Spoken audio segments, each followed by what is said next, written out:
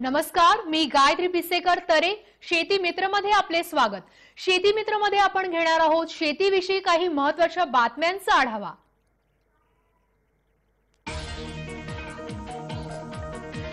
राज्यात थंडीची चाहूल लागली असतानाच तापमानात सुरू असलेल्या चढ उतारामुळे कमाल आणि किमान तापमानातील तफावत वाढली आहे राज्यात पहाटे थंडी आणि दुपारी उन्हाचा चटका अशी स्थिती आहे.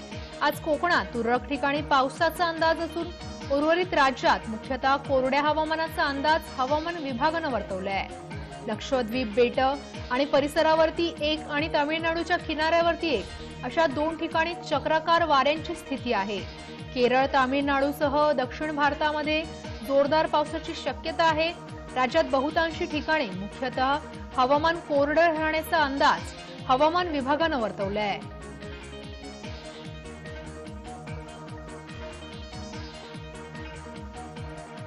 देशभरातील बाजारात चालू सप्ताहात दैनंदिन सरासरी नऊ लाख क्विंटलची आवक राहिली आहे. तर सरासरी दर चार हजार पाचशे ते पाच हजार एकशे पन्नास रुपयांवरती होते.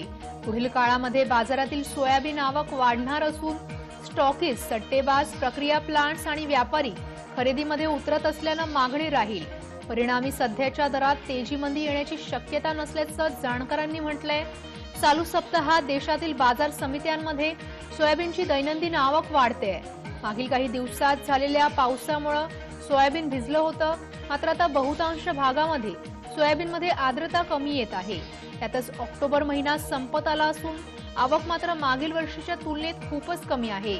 सोयाबीन आवकेचा हंगाम पंधरा ऑक्टोबरपासून सुरू झाला.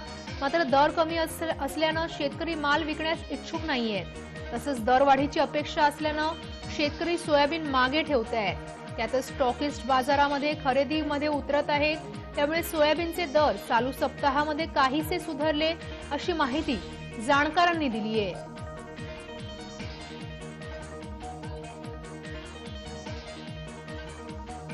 राज्यातील कृषी विद्यापीठांमधील पदव्युत्तर अभ्यासक्रमांची प्रवेश प्रक्रिया सुरू झाली आहे प्रवेशाच्या चार फेऱ्या होत आहेत. तेरा नोव्हेंबरला पहिली फेरी होईल. महाराष्ट्र कृषी शिक्षण संशोधन परिषदेचे शिक्षण संचालक डॉक्टर हरिहर कौसेडकर यांच्या म्हणण्यानुसार पदव्युत्तर अभ्यासक्रमाच्या विविध विद्याशाखांसाठी होत असलेल्या या प्रवेश प्रक्रियेसाठी दुसरी फेरी ही वीस नोव्हेंबरला तर तिसरी फेरी सत्तावीस नोव्हेंबरला होईल. शेवटची चौथी फेरी मात्र सहा ते आठ डिसेंबरला होईल. Maha dot agri admissions dot in. संकेतस्थळावरती अठ्ठावीस ऑक्टोबर पर्यंत अर्ज भरावे लागतील. राज्यामध्ये सध्या दोन वर्ष कालावधीचा पदव्युत्तर पदवी अभ्यासक्रम शिकवणारी अडतीस महाविद्यालये आहेत.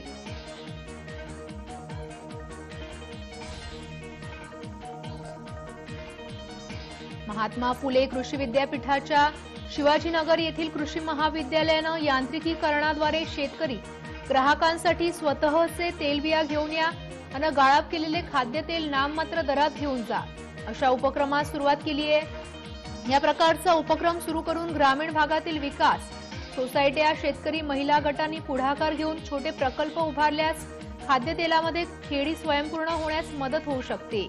पुणे कृषी विद्यालयाचे सहयोगी अधिष्ठाता डॉक्टर कुनिल सुनील मासाळकर म्हटले की गुजरातहून तेलबियांच्या गाळपाची सुमारे दीड लाख रुपये किमतीची मशीन कृषी महाविद्यालयानं खरेदी केली आहे.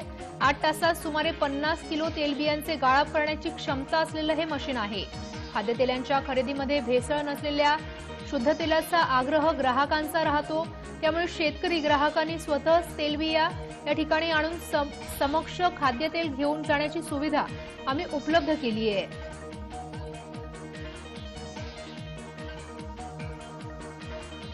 नवी दिल्लीच्या राष्ट्रीय सहकारी साखर कारखाना महासंघाच्या वतीनं देशातील साखर कारखान्यांना देण्यात येणारे पुरस्कार जाहीर झाले आहेत. त्यामध्ये राज्यातील कारखान्यांनी मोहर उठवली आहे. राज्याला दहा पारितोषिकं मिळाली आहेत. दुसऱ्या क्रमांकावरती उत्तर प्रदेश असून त्यांना चार पारितोषिके मिळाली आहेत. गुजरात हरियाणा आणि तामिळनाडूनं प्रत्येकी दोन पारितोषिके मिळवली आहेत. मध्य प्रदेशाला एक मिळालंय.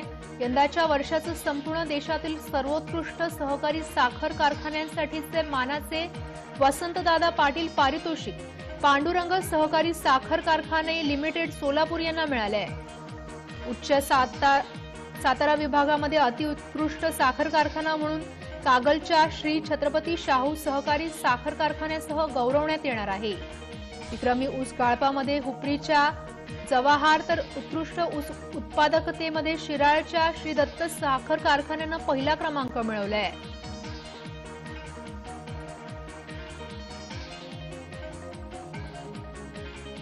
महाराष्ट्र गुजरात आणि मध्य प्रदेशामध्ये सप्टेंबर महिन्यात झालेला पाऊस तसंच अनेक राज्यात गुलाबी बोंड अळीचा प्रादुर्भाव. वाढल्यानं देशामध्ये यंदा कापूस उत्पादनात घट येण्याची शक्यता आहे तसंच जागतिक पातळीवर कापसाची मागणी वाढणार आहे. तरीही तेजीत राहतील असे जुनागड कृषी विद्यापीठानं कापूस दर अंदाज अहवालात स्पष्ट केलंय. जागतिक व्यापार संघटनेच्या डिपार्टमेंट ऑफ अॅग्रिकल्चर इकॉनॉमिक्स सेलनं जाहीर केलेल्या या अहवालामध्ये म्हटलंय देशात कापूस उत्पादन घटणार आहे देशात गेल्या वर्षी तेरा एकोणीस लाख हेक्टरवरती कापूस लागवड झाली होती यंदा कापूस पट्ट्यात पावसाचा खंड. कमी पाऊस आदी कारणांमुळे लागवड क्षेत्र एकशे चोवीस लाख हेक्टरवरती आले आहे. त्यामुळे कापूस लागवडीमध्ये सात लाख हेक्टरनं घट झाली आहे त्यातच सप्टेंबर महिन्यात पाऊस झाल्यानं कापूस उत्पादनामध्ये घट येईल असं अहवालात नमूद केलं आहे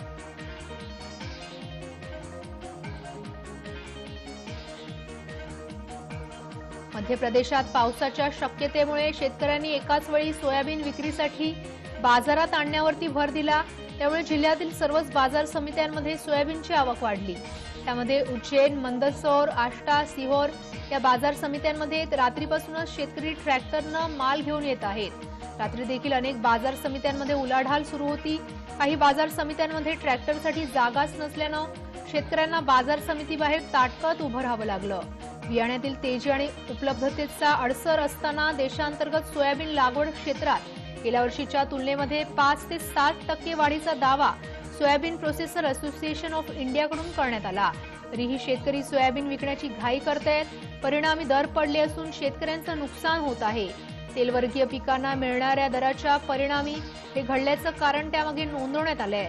दोन हजार वीस या वर्षीच्या खरीपात देशात एकशे वीस लाख हेक्टर क्षेत्रावरती लागवड आणि उत्पादन एकशे पाच लाख टन झालंय.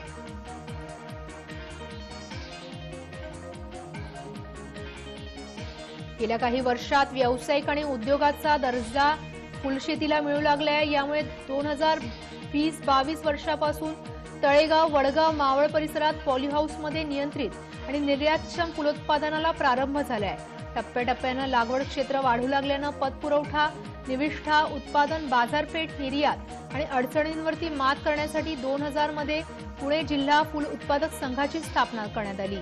सध्या पॉलीहाऊसमधील लागवडीचे क्षेत्र सुमारे दीड हजार एकर आहे. संघाचे पाचशे सभासद आहेत